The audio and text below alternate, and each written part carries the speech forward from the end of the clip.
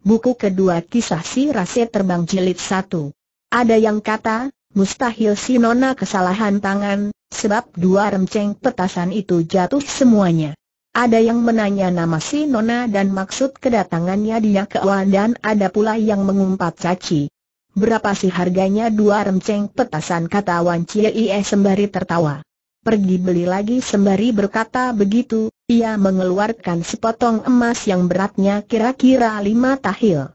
Harga emas itu adalah cukup untuk membeli seribu renceng petasan. Melihat gerak-gerik nona itu yang sangat aneh, semua orang jadi merasa heran dan tak seorang pun yang berani menyambuti uang emas itu. Bukankah Chuan-Chuan ini murid-murid Kiu Leong Pei tanya Wan Chie Is sembari mesem. Bukankah Ya Lo Osu yang menjadi Chiang Bun Jin dari Kiu Leong Pei? Dan bukankah Ya Lo Osu ingin pergi ke Pak Ya untuk menghadiri pertemuan para Chiang Bun Jin yang dihimpunkan oleh Hok Kong Ju? Mendengar pertanyaan itu, semua orang lantas saja mengangguk. Wan Chie menggeleng-gelengkan kepala dan lalu berkata dengan suara menyesal, sayang sungguh sayang. Petasan yang sedang dibakar mendadak bungkam, adalah serupa alamat yang sangat jelek. Paling benar ya Lo Osu mengurungkan niatnya, kenapa tanya seorang. Wan Chie lantas saja menarik paras muka sungguh-sungguh.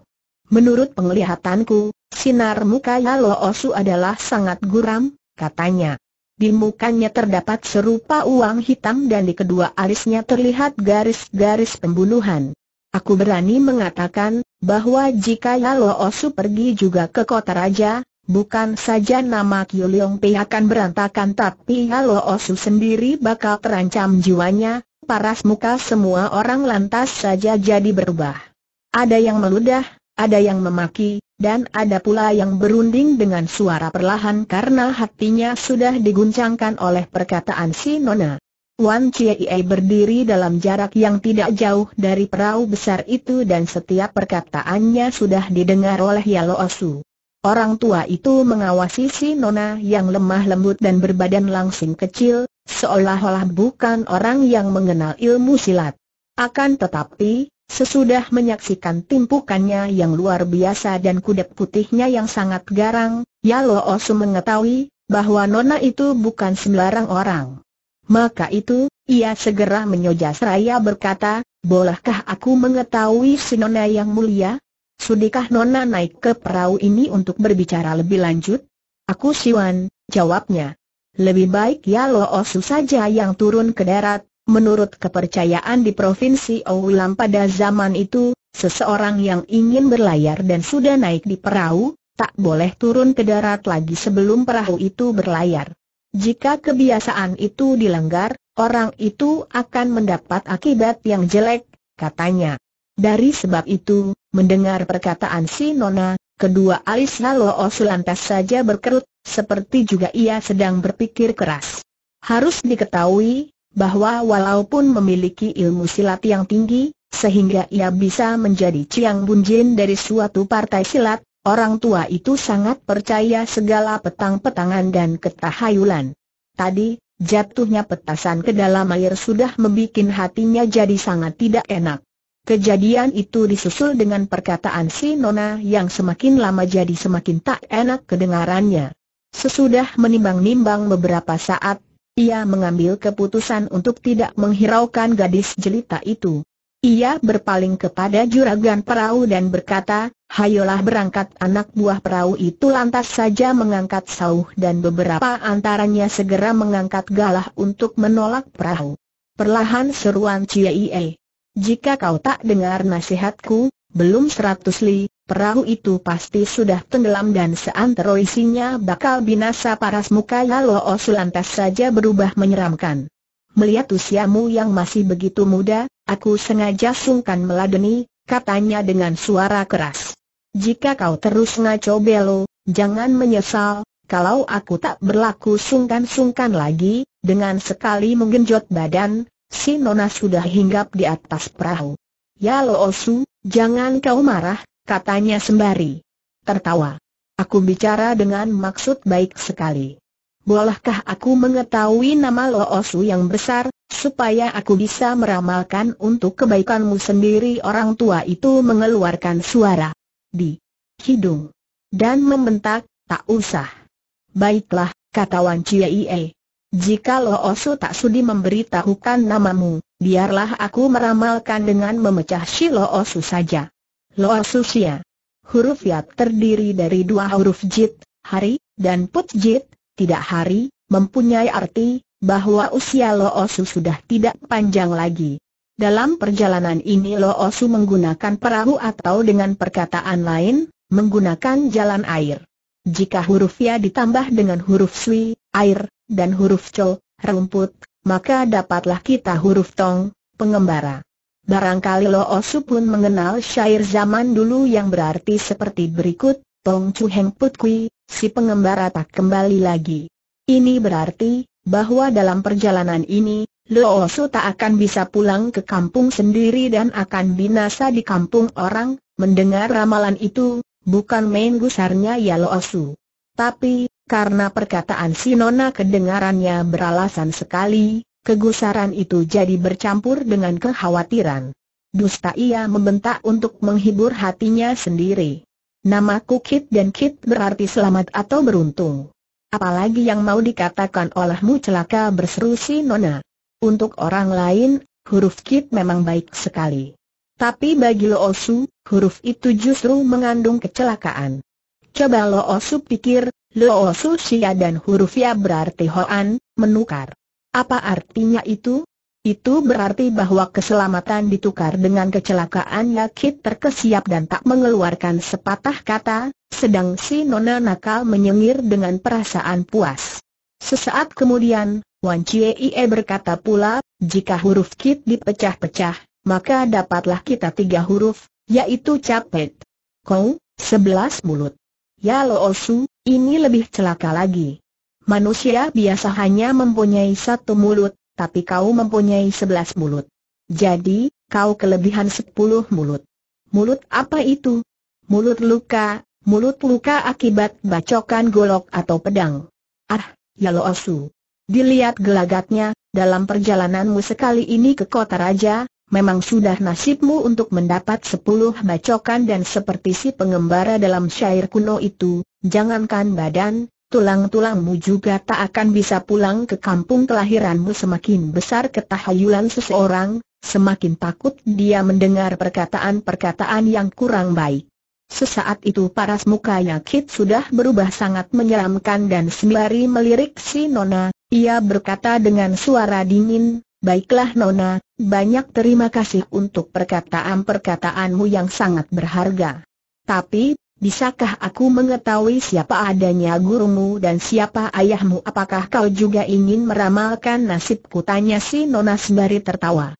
Sebab apa kau ingin mengetahui asal-usulku? Yalo Osu tertawa dingin dan berkata pula, melihat usiamu yang masih begitu muda dan juga karena mengingat, bahwa kita sama sekali belum saling mengenal, maka sudah boleh dipastikan, kedatanganmu di sini adalah atas suruhan orang lain untuk mengganggu aku. Aku si orang Sia tidak biasa berkelahi melawan segala bocah cilik dan juga, sebagai lelaki aku tak sudi bertempur dengan perempuan. Suruhlah orang yang berada di belakangmu, datang kemari. Kita coba-coba melihat, siapa yang kena sepuluh bacokan dan siapa yang tak bisa pulang ke kampung sendiri. Sehabis berkata begitu, ia menuding Wan Chie sembari berteriak, Siapakah manusia di belakangmu itu orang di belakangku si Nona menegak sembari tertawa dan menengok ke belakang. Begitu menengok, hatinya terkesiap. Ternyata, orang yang berdiri di daratan dan mengenakan pakaian petani, bukan lain daripada Owi. Tapi sungguh pandai si Nona mempertahankan diri. Tanpa berubah parasnya, ia berkata sembari tertawa, orang yang di belakangku, Aku melihat dia seperti bocah pengangon kebau, jangan berlagak pilon teriak Yakit dengan kegusaran yang meluap-luap. Yang kumaksudkan adalah manusia yang berdiri di belakangmu, yang menyuruh kau datang kemari. Jika laki-laki, jangan main sembunyi-sembunyi, suruh dia keluar. Keluar menurut dugaan Yakit, tak bisa salah lagi, Kedatangan Wan Chie adalah atas perintah salah seorang musuhnya untuk mengacau keberangkatannya ke kota raja. Ya Lo Osu, kata pula Wan Chie dengan paras sungguh-sungguh. Orang kata, obat mustajab, pahit rasanya, nasihat jujur, tak enak didengarnya. Nasihatku itu keluar dari hati yang sejujurnya dan apakah kau sudi mendengar atau tidak, terserah kepadamu. Mengenai Kiu Liong Pei, jika kau tidak bisa pergi, aku bersedia untuk mewakilinya. Hampir berbareng dengan meloncatnya Wan Chie ke atas perahu, Ong Wei sudah tiba di situ. Hari itu, ketika pakaiannya dicuri si Nona, sedang ia sendiri mandi di sungai, tentu saja ia tak bisa mendarat dengan begitu saja. Sesudah malam, baru ia berani naik ke daratan dan mencuri seperangkat pakaian dari rumah seorang petani. Apa yang paling dipikirnya adalah kitab ilmu silat dan ilmu golok yang selalu disimpan dalam saku baju dalamnya dan baju itu sudah dibawa lari oleh si Nona. Ia menduga bahwa Wan Chie memang ingin memiliki kitabnya itu, karena mula-mula dia mencuri buntelan dan kemudian mencuri pakaiannya. Memikir begitu, dengan perasaan jengkel dan bingung, ia segera mengejar secepat mungkin. Tak berlama-lama, dari jauh ia sudah melihat si Nona yang menjalankan kudanya. Perlahan-lahan. Sekarang ia menjadi sanksi. Menurut pantas, seorang pencuri tentu menyingkir selekas dan sejauh mungkin. Kenapa melarikan tunggangannya begitu perlahan-lahan? Benar-benar Rowi tak mengerti. Menurut pertimbangannya, jika menggunakan kekerasan, belum tentu ia bisa mengalahkan si Nona. Maka itu, ia lalu menguntit secara diam-diam untuk menyelidiki gerak-geriknya dan melihat, apakah Nona itu ada kawannya atau tidak. Tapi sesudah membuntuti dua hari, sama sekali Owi tidak dapat melihat gerak-gerik luar biasa dari nona itu. Hari itu, ketika tiba di Yakiwan, ia mendapat kenyataan, bahwa Wan Chia ia lagi-lagi ingin merebut kedudukan Chiang Bunjin. Ah, nona itu tentu sakit gila, pikir Owi. Dia tentu dihinggapi penyakit gila Chiang Bunjin, atau dia mempunyai maksud lain yang lebih dalam, Melihat Yakit dan Wan Chie sudah hampir bertempur, diam-diam Owi menjadi girang. Ia mengambil putusan menjalankan peranan si penangkap ikan yang mengantongi hasil permusuhan antara burung dan kerang. Dengan perkataan lain, ia ingin berusaha untuk mengambil pulang kitabnya, selagi kedua orang itu bertempur. Di saat itu, jika mau, dengan gampang ia bisa merebut kembali kuda si Nona. Akan tetapi, seperti lagu yang merdu tak akan dinyanyikan untuk kedua kalinya, begitu juga tipu yang liai tak akan diulangi lagi. Jika ia mengulangi siasat merebut kuda, ia khawatir ditertawakan si Nona. Maka itu dengan perlahan ia mendekati perahu, siap sedia untuk merampas buntelan si Nona yang diikatkan di punggungnya. Sementara itu, mendengar perkataan Wan Chie paras muka Yakit jadi bersemu ungu, bahana gusarnya. Kalau begitu, katanya dengan suara gemetar, kalau begitu, apakah? Nona mau mengatakan, bahwa aku, Yakit, tak mempunyai kemampuan dan tak berhak lagi menjadi Chiang Bunjin dari Kiu Liong Pei bukan, bukan begitu, jawabnya sembari nyengir. Perjalanan Lo Osu sekali ini adalah perjalanan yang penuh bahayanya. Urusan jiwa tak boleh dibuat main-main. Maka itu, lebih baik Lo Su menyerahkan kedudukan Chiang Bunjin kepadaku. Nasihat ini keluar dari hati yang suci dan hanyalah untukmu, baru saja ia berkata begitu, dari dalam perahu mendadak keluar dua orang lelaki yang masing-masing mencekal Kio Chiat Pian, Pian atau pecut yang mempunyai sembilan tekukan. Perempuan itu miring otaknya, tak usah suhu meladeni ia, kata lelaki yang setengah tua. Biar Teocu, murid, saja yang melemparkan dia ke daratan, supaya tak membuat kapiran saat yang baik untuk menjalankan perahu, sembari berkata begitu, ia mengulurkan tangan kirinya untuk mendorong pundak Wan Chie. Payah. Ilmumu payah kata si Nona sambil menyentil lengan orang itu. Begitu tersentil, lengan orang itu kesemutan dan tangannya turun pula dengan perlahan. Toa Suko, gunakan senjata teriak kawannya. Berbareng dengan suara kerontrangan, dua kiociat pian yang terbuat dari baja menyambar si Nona. Tapi karena memang bukan maksud mereka untuk mengambil jiwa orang, kedua senjata tidak menyambar ke bagian tubuh yang berbahaya. Melihat senjata orang, Wan Chie lantas saja menduga, bahwa nama Kiu Leong Pei sudah didapatkan karena orang-orang partai itu terutama mahir dalam menggunakan Kiu Chiat Pian. Di saat itu, kedua pian tersebut sudah hampir mengenai tubuhnya. Bagus katanya di dalam hati. Sekarang kau bertemu dengan kakek moyangmu. Cepat bagaikan kilat, kedua tangannya menyambar dan menangkap dua ujung pian itu yang lantas saja dicantelkan satu pada yang lain. Dalam melakukan gerakan tangannya itu tubuh si Nona sama sekali tidak bergerak.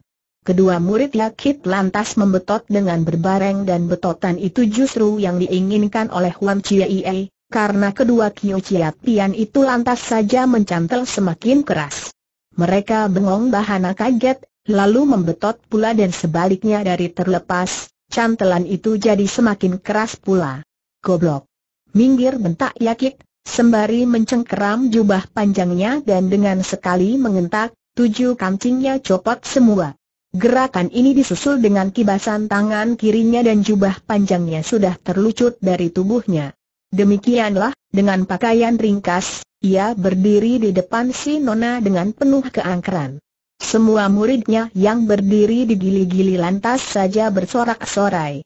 Wan Chie menggeleng-gelengkan kepalanya seraya berkata, sebenarnya tak pantas kalian bersorak-sorai. Gerakan itu dinamakan Toh Pau Siang Wiye, membuka jubah menyerahkan kedudukan. Membuka jubah memang tak apa, tapi menyerahkan kedudukan adalah suatu alamat bahwa kedudukan Chiang Bunjin memang sudah ditakdirkan harus diserahkan kepadaku. Yakit terkejut, ia lantas saja merasa bahwa gerakannya tadi memang merupakan alamat yang kurang baik. Ia meraba pinggangnya dan di lain saat, tangannya sudah mencekal sebuah kiociatian yang mengilap. Carrier Kit mengeluarkan senjatanya merupakan suatu keheranan, yakni Kiu Chiat Pian Baja itu sama sekali tidak mengeluarkan suara. Celaka si Nona mengeluh. Orang ini tak boleh dibuat gegabah. Aku sendiri tak mampu menggunakan ilmu itu. Tongkrongan Yakit benar-benar menyeramkan. Dengan badannya yang tinggi besar ia mencekal Kiu Chiat Piannya yang berukuran hebat, setiap tekukannya sebesar telur itik. Waktu itu, karena Sau sudah diangkat, maka perahu jadi bergoyang-goyang tak hentinya. Yakit mengayun senjatanya dan menyabet Sau itu yang lantas saja terpental dan nyemplung ke dalam air, sehingga perahu itu menjadi tetap kembali. Itulah suatu pertunjukan kekuatan yang sangat hebat. Jika tangan Yakit tidak mempunyai tenaga tujuh atau delapan ratus kati, ia tentu tidak bisa berbuat begitu. Wan Chie terkesiap. Tenaga orang itu sangat besar dan ilmunya tinggi, pikirnya. Dia harus dijatuhkan dengan tipu, tak bisa dilawan dengan tenaga, melihat badan Yakit yang tinggi besar dan usianya yang agak lanjut, si Nona berpendapat bahwa meskipun lekangnya tinggi, gerak-gerik orang tua itu tentunya kurang gesit. Berpikir begitu, ia segera mendapat suatu akal yang baik. Ya Lo Osu, katanya. Aku adalah seorang wanita dan jika kita bertempur di kepala perahu, tak peduli menang atau kalah, pertempuran ini pasti akan berakibat kurang baik bagi perjalananmu. Maka itu, aku ingin mengusulkan supaya kita bertanding di tempat lain, Yakit menyetujui usul itu, tapi ia juga sungkan turun ke darat. Ya Lo Osu, kata pula si Nona. Sekarang kita berjanji dulu, jika aku menang, Bukankah kau akan menyerahkan kedudukan Chiang Bunjin dari Kiu Liong Pei kepadaku? Apakah jika sampai kejadian begitu, murid-muridmu akan rela menerimanya? Yakit merasakan dadanya sesak bahana gusarnya. Tak rela, toh mesti rela juga bentak orang tua itu. Tapi, kalau kau yang kalah, aku akan berlutut di hadapanmu dan memanggil kau ayah, jawab si Nona sembari menyengir. Hanya aku memohon Kasuka menyayang si anak angkat, sembari berkata begitu, ia meraba pinggangnya dan di lain saat, tangannya sudah mencekal pecut. Sambil menggenjot badan, ia mengayun pecutnya yang lantas saja melibati yang layar. Dengan menarik pecut itu, badannya membubung ke atas dan begitu lekas lengan kirinya memeluk tiang layar, pecutnya sudah diayun lagi dan kembali melibat bagian lebih atas dari tiang itu. Sekali lagi ia menarik pecutnya sembari mengempos semangat dan dengan gerakan It Ho Tiong Tian, seekor burung ha menembus langit, badannya melesat ke atas dan ia hingga persis di puncak tiang. Itulah suatu ilmu mengentengkan badan yang sudah mencapai puncak kesempurnaan. Tanpa merasa, semua penonton bersorak-sorai. Yakit mengeluarkan suara di hidung dan melibatkan kiuciat piannya di pinggangnya. Begitu tangan kirinya mencengkeram tiang layar, badannya naik kira-kira dua kaki. Sesudah tangan kiri itu, ia mengulurkan tangan kanannya yang kembali mencengkeram tiang dan tubuhnya naik lebih tinggi lagi. Harus diketahui, bahwa tiang itu sebesar mangkuk nasi dan tak akan dapat dicekal dengan sebelah tangan. Tapi, Tenaga jeriji Yakit adalah sedemikian lihainya dan telapakan tangannya mengandung lekang yang sangat dalam, sehingga, walaupun tiang tidak tercekal, bisa juga ia berbuat begitu. Dengan cepat, tubuhnya menaik ke atas dan bagi seorang ahli, perbuatan itu merupakan suatu pertunjukan ilmu yang sangat dahsyat. Di lain saat, Yakit sudah berada dalam jarak kira-kira setombak dari si Nona.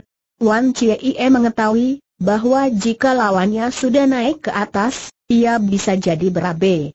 Maka itu, selagi ia masih bisa menarik keuntungan dari kedudukannya yang lebih tinggi, ia segera mendului. Ya lo Osuia. Membentak. Pecutku mempunyai 18 tekukan, 9 tekuk lebih banyak daripada pecutmu, berbareng dengan seruannya, ia mengayunkan senjatanya yang segera menyambar kepala Yakit. Yakit yang kedua tangannya sedang mencengkeram tiang benar-benar berada dalam bahaya. Jika ia berkelit badannya akan merosot ke bawah dan itu akan berarti bahwa ia sudah kalah. Tak punya malu teriak salah seorang muridnya di darat. Tak adil seru orang kedua. Perempuan bangsat. Turun kau, jika berani orang ketiga mencaci. Sesaat itu, Yakit sudah bergerak untuk membela diri. Dengan lengan kiri ia memeluk tiang dan Kio Chiat Tian di tangan kanannya sudah menyambar ke atas untuk memapaki pecut si Nona. Wan Chie mengetahui bahwa jika kedua senjata lemas itu sampai kebentrok dan terlibat satu dengan yang lain, ia akan kalah tenaga dalam betot-membetot. Maka itu, pada detik terakhir, ia mengedut senjatanya untuk menghindari bentrokan. Baru saja ia mau memecut pula, Yakit sudah memutar senjatanya bagaikan titiran untuk melindungi kepalanya, kemudian, sambil membentak keras, badannya terbang ke atas dan, ia sudah hinggap di palang tiang. Tepuk tangan dan sorak-sorai yang gemuruh menyambut gerakan yang luar biasa indahnya itu. Dalam pada itu, sebaliknya dari khawatir, hati Wan Chie jadi terlebih mantap.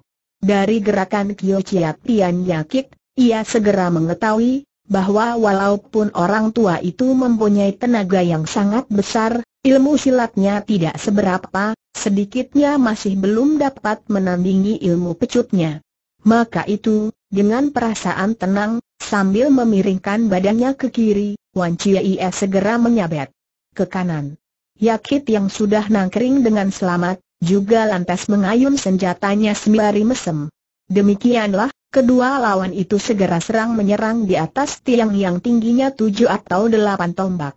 Pertempuran itu, di samping memberikan pemandangan yang mengerikan, juga indah luar biasa. Jumlah manusia yang berkumpul di tepi sungai semakin lama jadi semakin banyak, sedang di atas air, jumlah perahu juga jadi bertambah. Yakit mengerti, bahwa dalam ilmu mengentengkan badan, kepandaiannya masih belum bisa menandingi lawannya. Tapi, untung sekali, ia sekarang sudah berada di tempat yang sentosa. Di lain pihak, Wan Chie yang lincah bergerak-gerak dan mundur maju tiada hentinya, sambil menghantam pulang pergi dengan pecutnya. Dalam pertempuran itu, si Nona mempunyai dua keuntungan. Pertama, ia lebih gesit dan kedua, senjatanya banyak lebih panjang, kira-kira dua kali lebih panjang daripada Kyo Chiat Tian lawannya. Maka itu, sedang Yakit hanya bisa membela diri. Wan Chie menyerang kalang kabutan sesuka hatinya. Sesudah bertempur 30 jurus lebih, sambil berseru keras dan nyaring, Sinona mengubah cara bersilatnya. Dalam sekejap saja, pecutnya sudah berkelebat-kelebat bagaikan ular perak yang sedang menari-nari dan pukulan-pukulannya jadi lebih aneh lagi. Diserang secara begitu, Yakit terpaksa memutarkan senjatanya secara lebih dahsyat untuk melindungi seluruh tubuhnya. Harapan Yakit satu-satunya adalah berusaha untuk melibat pecut si Nona dan kemudian membetotnya untuk merobohkan lawannya ke bawah tiang. Di lain pihak, sesudah bertempur lama juga, Wan Chie mengetahui bahwa orang tua itu hanya memiliki tujuh delapan macam pukulan yang diulangi lagi. Dilihat sekelebatan, Wan Chie memang berada di atas angin. Tapi, keadaan yang sebenarnya bukan begitu. Harus diketahui, bahwa Kerusi Nona berkelahi meminta banyak tenaga dan kewaspadaan yang sepenuh-penuhnya. Begitu dia lelah, ilmu pecutnya akan segera menjadi kalut dan sekali lengah, ia bisa terpeleset dan jatuh ke bawah. Sebagai seorang tua yang berpengalaman, itulah yang ditunggu ya Kate. Ia mempertahankan diri untuk menunggu saatnya yang baik. Wan Chie tentu saja mengerti maksud ya Kate. Tapi karena garis pembelaan orang tua itu luar biasa rapatnya, ia tidak bisa berbuat banyak. Jika pertempuran itu dilakukan di atas tanah datar, ia bisa menggunakan macam-macam cara, misalnya menghantam sambil berlompat tinggi, menyabet sembari menggulingkan badan, dan sebagainya. Tapi, dengan berada di atas tiang, tentu saja ia tak bisa berbuat begitu. Sesudah lewat lagi belasan jurus, Napas si Nona sudah mulai tersengal-sengal dan gerak-geriknya sudah tidak begitu gesit lagi.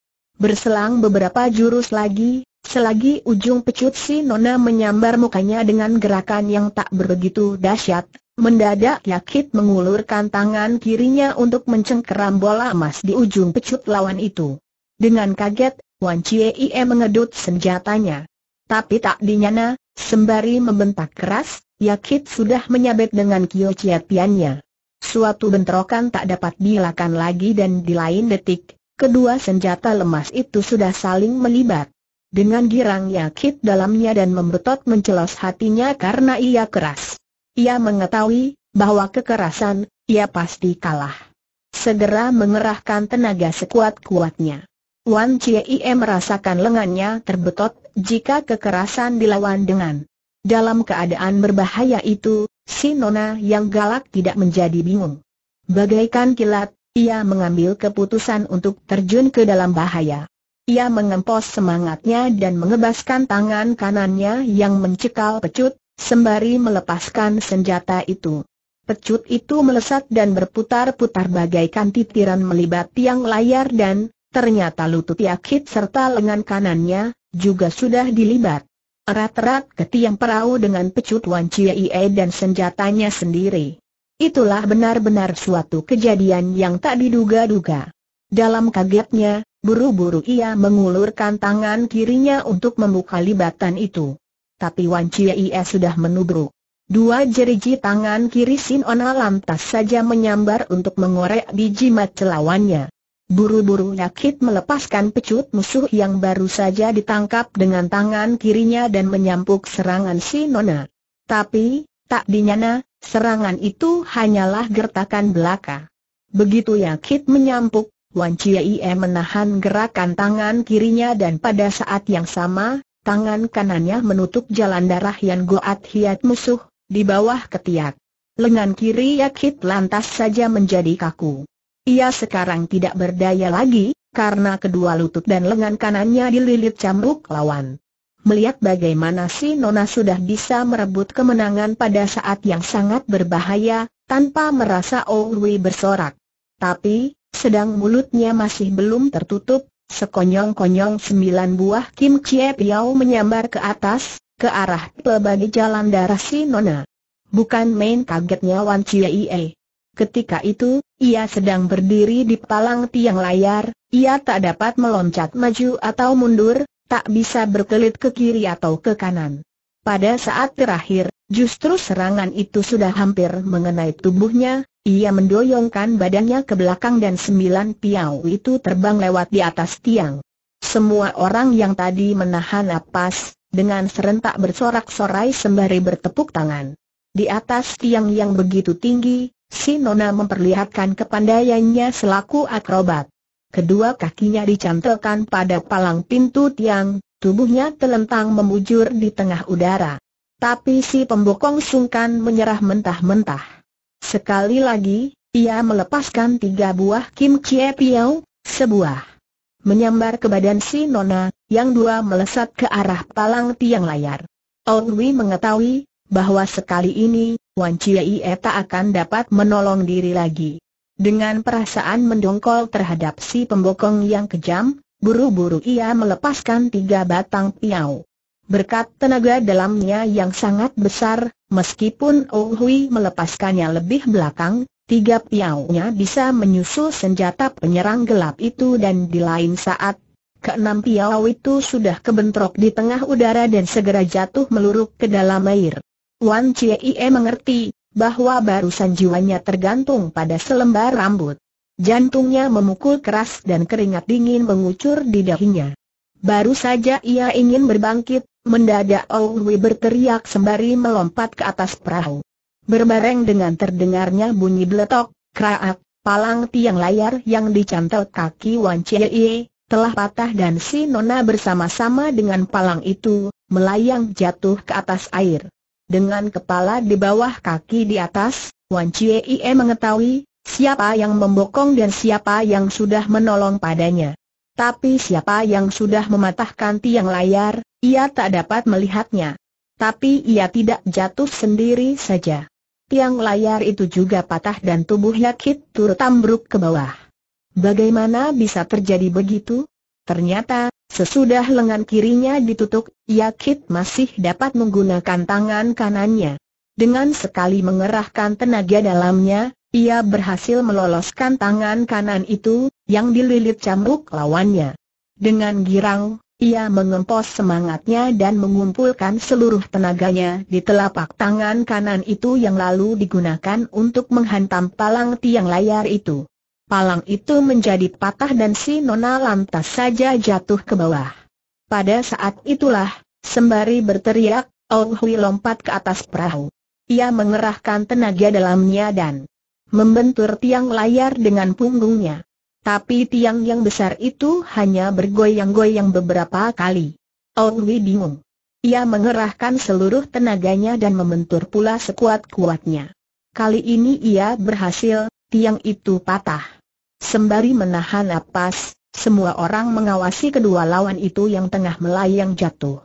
Bahaya yang mengancam si Nona belum habis sampai di situ. Ia jatuh lebih dulu, disusul oleh tiang layar. Jika tiang itu menimpa badannya, ia bisa binasa seketika. Buru-buru Owi mengambil tambang penarik perahu yang terletak di kepala perahu. Sambut ia berteriak sembari melontarkan tambang itu kepada Wan Chie. Sedang badannya melayang di tengah udara, hati si Nona bukan main bingungnya. Benar ia bisa berenang dan tak akan mati di air, tapi ia merasa malu sekali jika mesti kecebur dan menjadi basah kuyup. Demikianlah, ia segera menjamret tambang itu dengan girang. Wi mengentak dan di lain saat, Wan Chie sudah hinggap di atas perahu. Hampir berbareng dengan turunnya di atas geladak, terdengar bunyi jubiar dan air sungai munkrat keempat penjuru. Itulah bunyi jatuhnya Yakit bersama-sama dengan tiang layar. Sembari berteriak keras, murid-murid Kiu Liong Pai terjun ke air untuk menolong guru mereka. Di lain pihak, Sembari tertawa manis Wan Chie berkata, Onto aku, terima kasih banyak untuk pertolonganmu Wei juga tertawa. Nona, katanya. Aku si Ou. Huruf Ou terdiri dari tiga huruf Goat, Sip, dan Kou, bulan, sepuluh, dan mulut. Bukankah itu berarti, bahwa setiap bulan aku bakal dibacok sepuluh kali si Nona tertawa geli, ia sekarang mengetahui, bahwa pembicaraannya dengan Yakit sudah didengar pemuda itu. Masih untung, katanya. Dalam namamu terdapat huruf Wi, tidak. Karena adanya huruf itu, segala bencana akan berubah menjadi keselamatan. Terima kasih, terima kasih banyak untuk kata-katamu yang berharga itu, kata Owi sembari tertawa geli. Pertemuan itu benar-benar menggirangkan hati Wan Chie terlebih pula karena pemuda itu sudah menolong jiwanya. Maka itu, untuk memperbaiki perselisihan mereka, ia segera berkata pula, huruf W dengan sendirinya berarti Bun Cai Hui Jian, lemah lembut, indah sekali. Jika huruf W, tidak, ditambah huruf Co, rumput, kita memperoleh huruf W, harum. Sebagaimana kau tahu, pada sebuah syair kuno yang mempunyai bagian sebagai berikut, Hang Hui Hui Siebo Antong, keharuman yang semerbak memenuhi seluruh ruangan. Jika huruf Wi, merah. Kata orang, Ie Hui Cho Chie, bajunya merah ungu, warna ini di zaman dulu hanya boleh dipakai pembesar negeri, aduh kata Hui sembari meleletkan lidah. Kalau begitu, kau sekarang mengangkat aku menjadi seorang pembesar tinggi. Hebat demikianlah kedua orang muda itu bersenda gurau sembari tertawa-tawa, seolah-olah di situ tidak terdapat manusia lain. Sementara itu, dengan suara ribut, Yakit sudah diangkat naik ke darat. Ia tak bisa berenang dan sudah minum banyak sekali air. Mungkin karena gusarnya, seketika itu ia pingsan dan mukanya pucat seperti kertas. Ah! Jika dia mati, urusan ini bisa menjadi besar, pikir si Nona, yang lantas saja berkata dengan suara perlahan, Untuk aku, mari kita berangkat. Sudahlah, aku tak mau menjadi Ciang Bunjin Kiu Liong Pei. Ia melompat ke darat dan mengambil pecutnya yang masih melibati yang layar. Murid-murid Kiu Liong Pei rata-rata sudah naik darah. Begitu si Nona mendarat, enam tujuh orang lantas menyerangnya dengan cambuk masing-masing. Dengan sekali menyampuk, Wan Chie sudah berhasil menangkis semua serangan itu.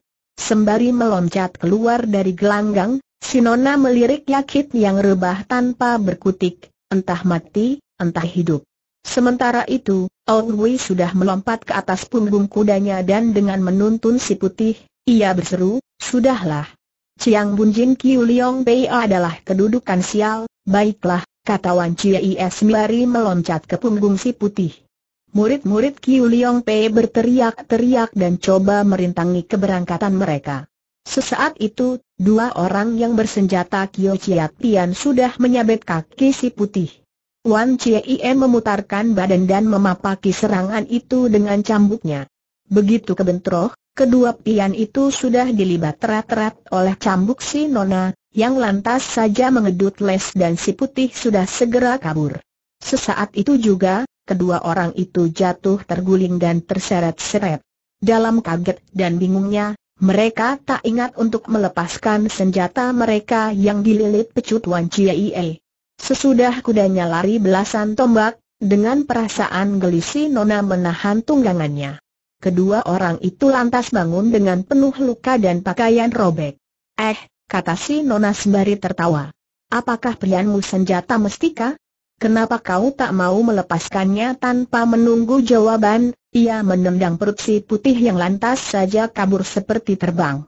Kedua murid Kiu Liong Pei itu sadar dan buru-buru melepaskan senjata mereka. Sayup-sayup mereka mendengar suara tertawanya Wan Chie yang lari berendeng dengan Owi.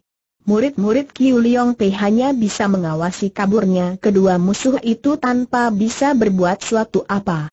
Mereka bisa mencaci sepuas hati, tetapi apa gunanya? Sementara itu, perlahan-lahan Yakit sadar dari pingsannya. Semua muridnya lantas mengerumuninya dan menanyakan keselamatannya.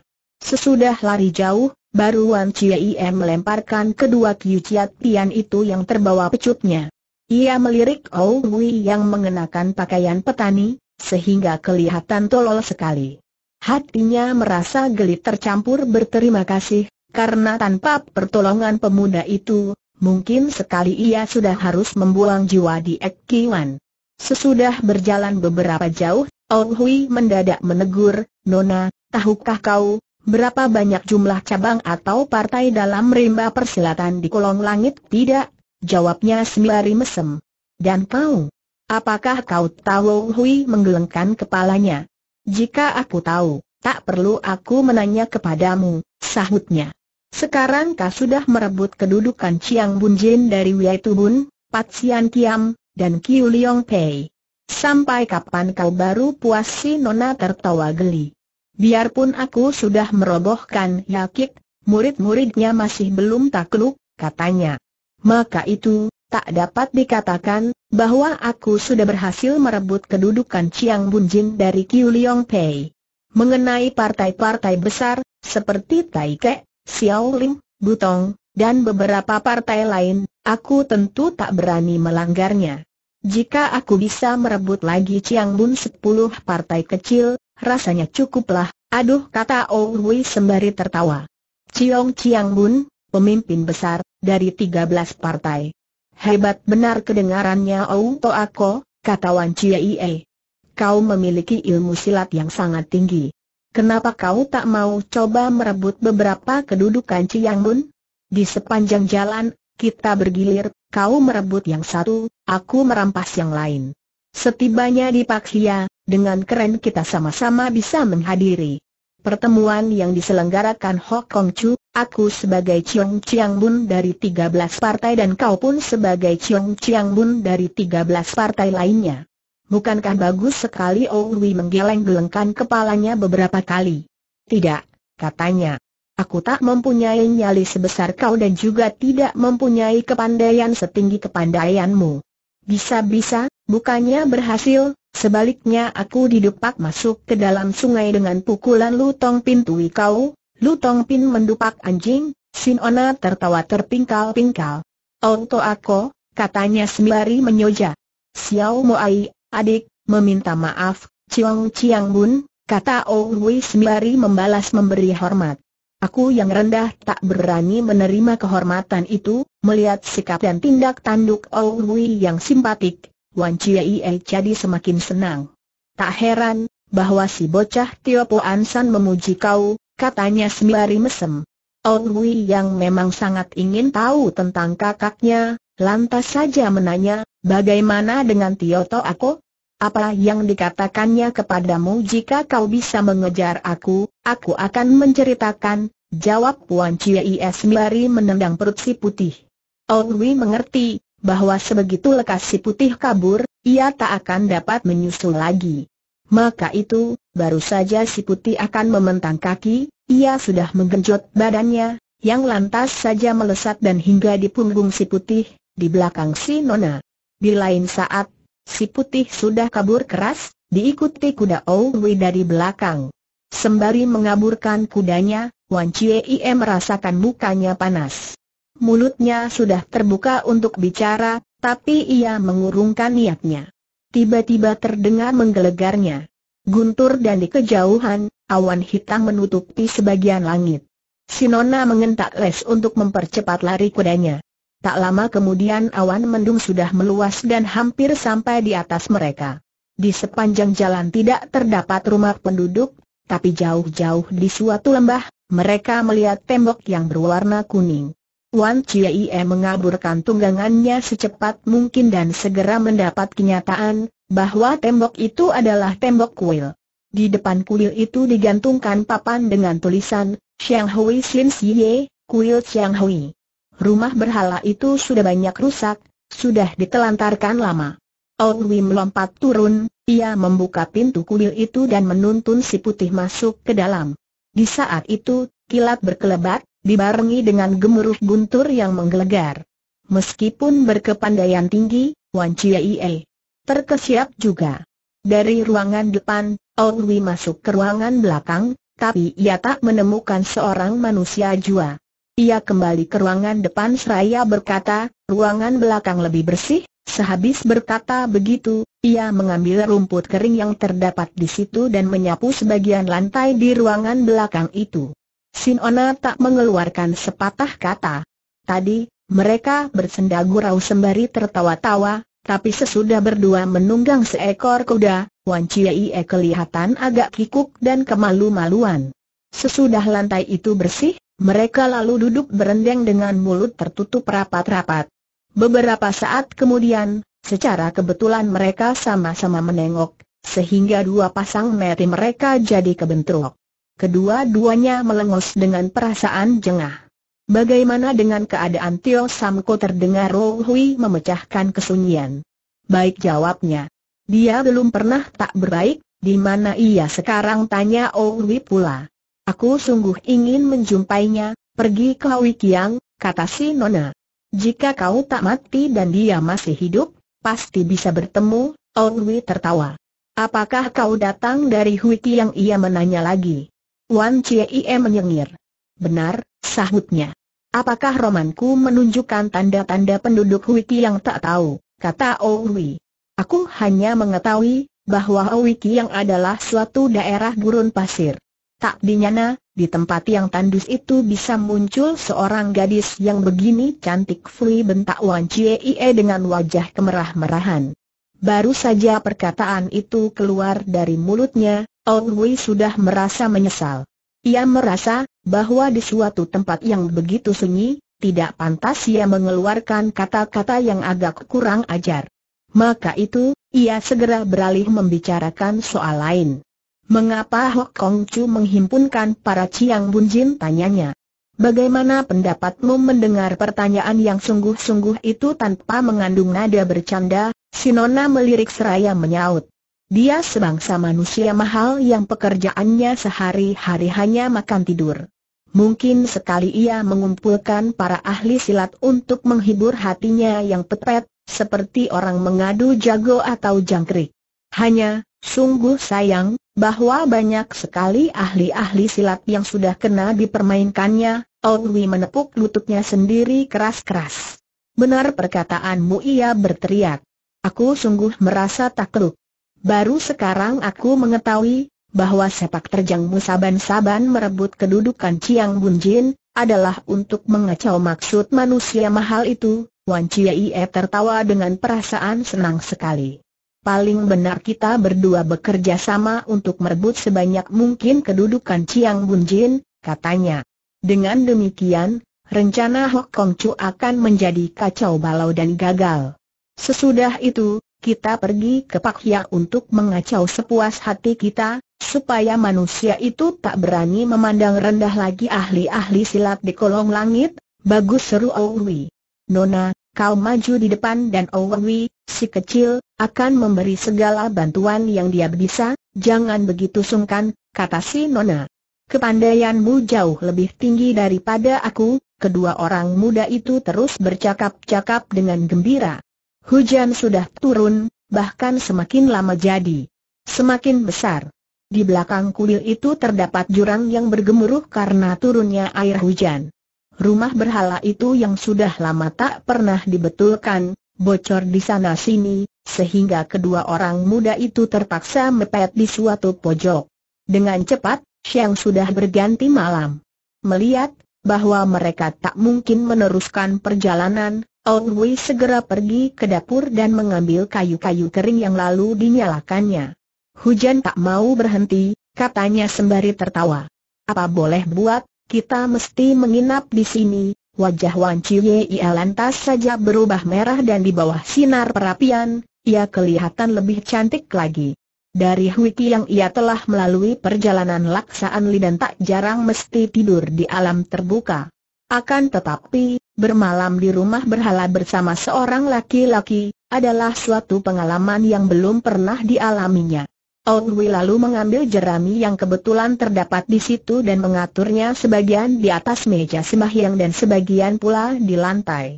Lu Tong Pin, salah satu dari delapan dewa, tidur di atas, si anjing yang kecebur di air tidur di bawah, katanya sembari tertawa. Sembari berkata begitu, ia merebahkan diri di atas jerami di lantai itu, membalikan badan menghadapi tembok dan segera meremkan kedua matanya. Diam-diam Wan Chie memuji pemuda itu yang ternyata adalah seorang kesatria tulen. Anjing basah kuyup, katanya. Sampai bertemu lagi besok pagi, ia melompat ke atas meja dan merebahkan diri juga. Ong Wei tak bisa lantas pulas, kupingnya mendengarkan bunyi hujan di atas genting. Kira-kira tengah malam, selagi ia layap-layap, di kejauhan mendadak terdengar bunyi tindakan kuda.